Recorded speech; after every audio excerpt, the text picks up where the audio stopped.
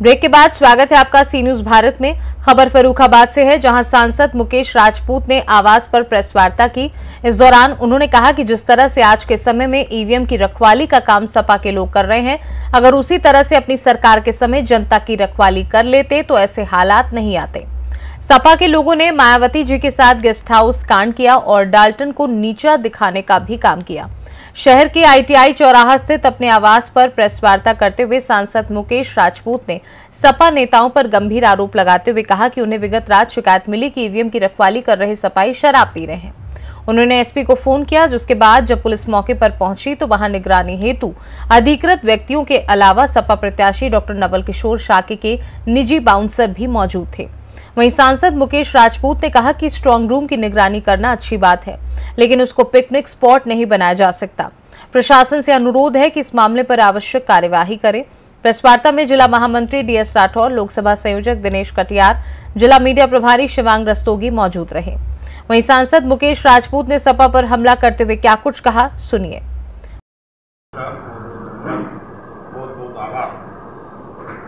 तो सबसे पहले आज तीस नहीं है। हिंदी पत्रकारिता दिवस आज है। और इसके लिए मैं आप सबको हिंदी पत्रकारिता दिवस पर बहुत बहुत बधाई देता हूँ बहुत बहुत शुभकामनाएँ। मणि जी बैठ जाओ भाई। एक दूसरा चुनाव भी काउंटिंग है, वो चार जून को होनी है। उससे पहले मैं अपने जनपद के सभी जनप्रतिनिधियों का और पार्टी के जिला पदाधिकारियों का, जो चुनाव लड़ाने वाली हमारी टीम थी उनका, और अपने पार्टी के कार्यकर्ताओं का, अपने फरुखाबाद के सभी सम्मानित मतदाता बंधुओं का, सभी बुद्धिजीवियों का, सभी सम्मानित पत्रकार बंधुओं का आभार व्यक्त करता हूँ कि सबके आशीर्वाद से, सबके प्रयास से ये चुनाव संपन्न हुआ, बहुत अच्छा चुनाव हुआ। इसके लिए मैं सबका आभार व्यक्त करता हूँ, साधुवाद भी देता हूँ। दूसरा, मैं कह सकता हूँ कि अपने यहाँ जिस तरह से ईवीएम मशीन की रखवाली इस समय हमने देख रहा हूँ रोज आती आज फलाने ग्रुप के लोग ईवीएम की रखवाली कर रहे हैं, आज फलाने ग्रुप के लोग ईवीएम की रखवाली कर रहे हैं, आज फलाने लोग ईवीएम की रखवाली कर रहे हैं। जैसा इतना ईवीएम के रखवाली में इन्हें ध्यान आ जा रहा है, ऐसे ही लोगों की जन सेवा कर रहे होते, ऐसे ही इनकी जब जो हार है, विपक्ष में विपक्ष की भूमिका निभा रहे होते तो मुझे लगता आज थोड़ा बहुत उनका वोट पड़ गया होगा। पाँच साल तो जब कहीं समाजवादी पार्टी के लोग कहीं पर भी संघर्ष करते दिखते नहीं हैं, लेकिन ईवीएम की रखवाली में पता नहीं कितना बढ़ चढ़ के हिस्सा ले रहे हैं। कि मुझे लगता है कि जैसे उनकी सरकार बन गई है, वो सांसद बन गए हैं। दूसरा मैं जिला प्रशासन से भी लोगों से कहूँगा कि वहाँ कहीं पर भी ई की रखवाली हो, जो उनकी गाइडलाइंस है, उसके अनुसार रखवाली हो। मैं भी इसके पक्षधर है, किसी को मन में भारतीय जनता पार्टी या कहीं पर भी लोकतंत्र में जिस तरह से लोगों को पारदर्शिता होनी चाहिए, होना चाहिए। लेकिन कहीं पर भी नौटंकी या हल्कापन नहीं होना चाहिए। कहीं पर भी लोग इस तरह से लोगों को माहौल बनाने का काम नहीं करना चाहिए। चार आदमी उनके अंदर बैठे, दस आदमी भीतर बैठे, बीस आदमी उन बैठे। ये जिस तरह से उसका होना चाहिए उस तरह से करना तरीके से बनाना चाहिए, लेकिन कहीं पर भी इस तरह से कल मुझे ध्यान है, कल रात को बारह एक बजे की रात के बारह एक बजे की शिकायत आई, वहाँ से हमारे एक कार्यकर्ता ने फ़ोन किया कि वहाँ समाजवादी पार्टी के दस बारह लोग दारू पी के बदल बचा रहे हैं। मैंने कप्तान को लगाया, कप्तान का नहीं उठा उठाकर मैंने सिंह को और इंस्पेक्टर को बताया। तो वो गए तो उन्होंने उनके चेक करें उनके पास में। जबकि नवल किशोर के जो बाउंसर हैं, वो अंदर घुसे हुए थे, और लोग भी अंदर घुसे हुए। ई तो खैर बहुत दूर है वहाँ से, लेकिन जहाँ पर लोगों को निगरानी रखने के लिए रखा गया। वहाँ पर वही लोग जाएँ जिनका पास हो। दिल्ली पुलिस के मेरे लोगों से जो भी जिला प्रशासन के लोगों से अनुरोध है कि वो लोग इस तरह की व्यवस्था बनाएँ। जिनका पास है, वही लोग जाएँगे। जिनका पास ये नहीं है, कोई भी मुँह उठाएगा चल देगा कोई पिकनिक स्पॉट नहीं है, संवेदनशील स्थान है। संवेदनशील स्थान पर थोड़ी सी सावधानी के साथ में वो हर काम होना चाहिए। जिस तरह से मज़ाक बनाने, माहौल बनाने का काम नहीं करना चाहिए। कहीं पर भी भारतीय जनता पार्टी कमज़ोर नहीं है। भारतीय जनता पार्टी ने और मैंने भी, मैंने तो समाजवादी पार्टी, बहुजन समाजवादी पार्टी में भी 2000 से लेकर 2017 तक संघर्ष किया है। कोई माई काला मुझे या हमारी पार्टी को आँख दिखाने का काम नहीं किया है। कहीं किसी तरह से अराजकता या गड़बड़ी फैलाने का नहीं काम किया है। हमें निर्वाचन आयोग में जिला प्रशासन पर विश्वास है। कहीं हम लोग कमज़ोर नहीं हैं। आवश्यकता पड़ेगी तो जिला प्रशासन अपने पीछे हट जाए, स्वयं मैं व्यवस्था बना सकता हूँ। लेकिन कभी भी किसी तरह से अराजकता कोई फैलाएगा, उसका भी जवाब दे सकता दूसरा, मैं अपने कहीं उत्पीड़न हुआ है तो उसमें दलित समाज का ही उत्पीड़न हुआ है शोषित समाज का ही उत्पीड़न हुआ है बहन मायावती का भी।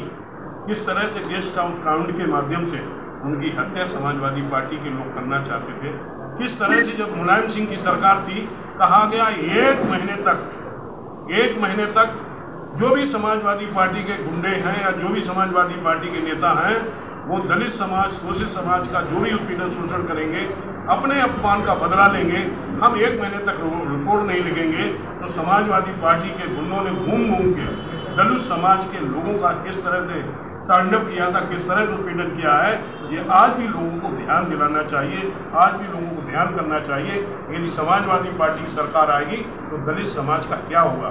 बहन जी का क्या हल करना चाहते थे? उन्होंने मानवर काशीराम का क्या काम किया, उनके साथ क्या काम किया था, उनके साथ किस तरह से धोखा किया? ये याद करना चाहिए, भारतीय जनता पार्टी ऐसी पार्टी है, चाहे वो दलित समाज हो, चाहे शोषित समाज हो, चाहे उपेक्षित समाज हो, चाहे वंचित समाज हो, चाहे अगड़ा समाज हो, चाहे पिछड़ा समाज हो, हर समाज का समाज का सम्मान जो है भारतीय जनता पार्टी में सबका साथ, सबका विकास, सबका विश्वास के साथ भारतीय जनता पार्टी माननीय नरेंद्र मोदी माननीय मोदी जी कर रहे हैं। इससे ज़्यादा कहीं सुरक्षित नहीं है। समाजवादी पार्टी में कहीं प्रयोग भला है। तो गुंडों और माफियों, अपराधियों का ही भला है। यदि कहीं भला है तो समाजवादी पार्टी के परिवार का ही भला है और किसी दूसरे का भला नहीं। है दूसरा, हम कह सकते हैं कि आज राहुल गांधी हों या राहुल गांधी के राष्ट्रीय अध्यक्ष हों, वो बार बार कहते हैं कि हम सत्ता में आएँगे तो 10 किलो गेहूँ मुफ़्त में देंगे और हम सत्ता में आएँगे, किसानों का ऋण माफ़ कर देंगे। एक तरह से मुगेरी लाल के हसीन सपने देख रहे हैं। उन्हें मालूम है हम सत्ता को तो छोड़ दीजिए।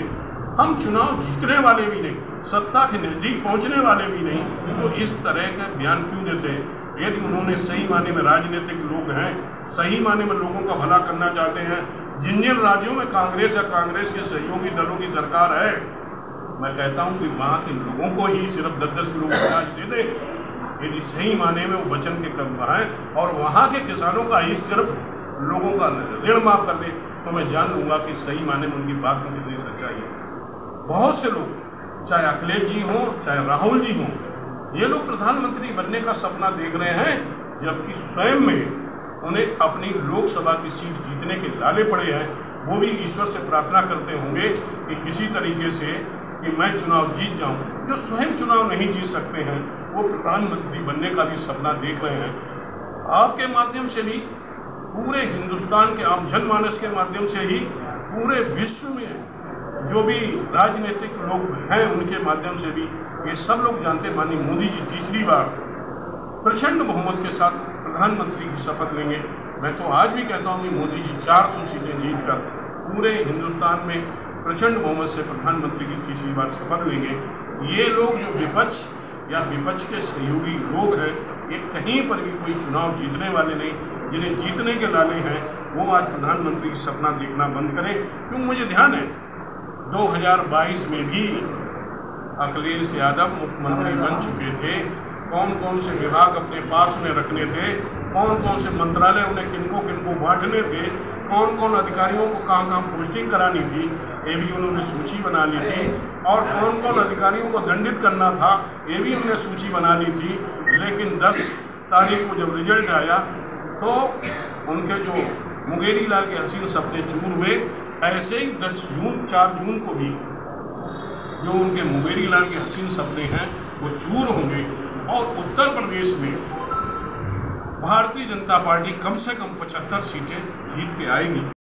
फरुखाबाद जनपद और पूरे देश के अंदर इस बार जो चुनाव हो रहे हैं, वो चुनाव में भारतीय जनता पार्टी एक तरफ़ है, दूसरी तरफ़ जो है कांग्रेस है, समाजवादी पार्टी, बहुजन समाजवादी पार्टी, तृणमूल, जितनी भी पार्टियाँ हैं वो भाजपा को उनके विकास का जो रथ है उसे रोकने के लिए चुनाव लड़ रही है। चुनाव जीतने के लिए वो चुनाव नहीं लड़ रही है। सिर्फ़ भारतीय जनता पार्टी माननीय नरेंद्र मोदी जी का जो विकास, जो जीत का जो रथ है, उसे रोकना चाहते हैं।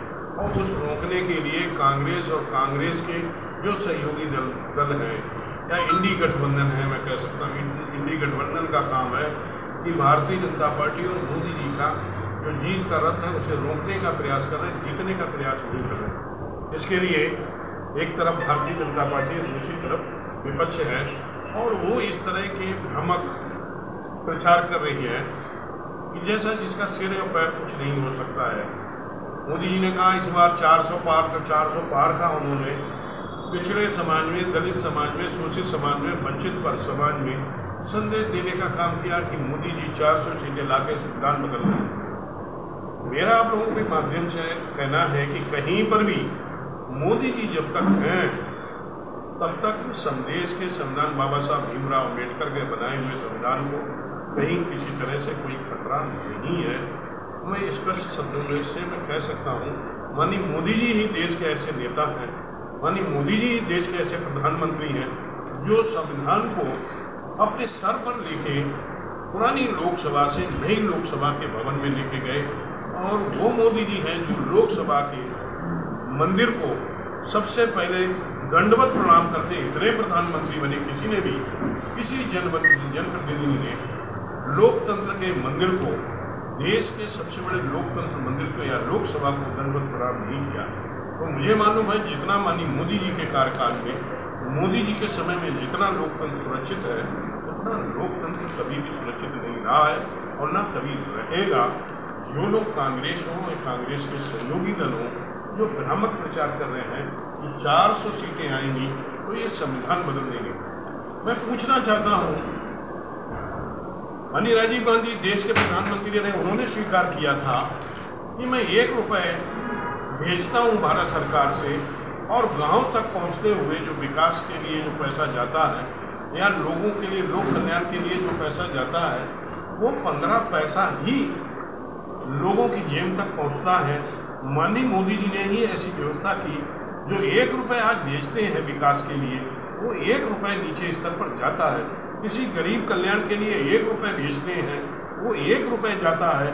किसी गरीब आदमी को पाँच किलो अनाज भेजते हैं तो पाँच किलो अनाज ही उसे मिलता है, ये व्यवस्था कहीं है। सही माने में जो लोकतंत्र का मायने है, वो सिर्फ़ माननीय मोदी जी के नेतृत्व में है। भारतीय जनता पार्टी के नेतृत्व में ही लोकतंत्र सुरक्षित है और जो भी सरकारी योजनाएँ हैं, उन सरकारी योजनाओं का लाभ सीधा सीधा लोगों को बिना कोई बिचौलिया के हाथ लगे हुए, बिना पैसा खर्च किए हुए, बिना समय बर्बाद किए हुए लोगों के तक पहुँच रहा है। गरीब कल्याण का कल्याण हो रहा है। मोदी जी के नेतृत्व में है। कई कांग्रेस ने तो इस देश पर साठ साल तक शासन किया है। इसके बावजूद भी उत्तर प्रदेश में भी समाजवादी पार्टी शासन किया है। कांग्रेस के ज़माने में मैंने देखा, जून की मून की जून में मून की टोपी लगा के लोग मजार में जाके चादर तो चढ़ा आते थे। कभी भी वो एक फूल लेके भगवान राम के मंदिर में, वो भगवान कृष्ण के मंदिर में भगवान शिव के मंदिर में, वो भगवान किसी शिव भगवान के मंदिर में कभी एक फूल लेके नहीं पहुँचे होंगे, लेकिन जून में भी ऊन की टोपी लगा के वो चादर चढ़ाने तो गए हैं। ये मुझे कहने में कोई संकोच नहीं।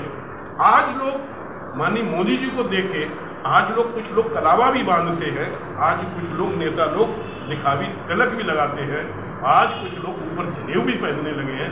ये मोदी जी की देन है। मोदी जी ने लोगों को सिखाया है कि आपको सबका सम्मान करना पड़ेगा।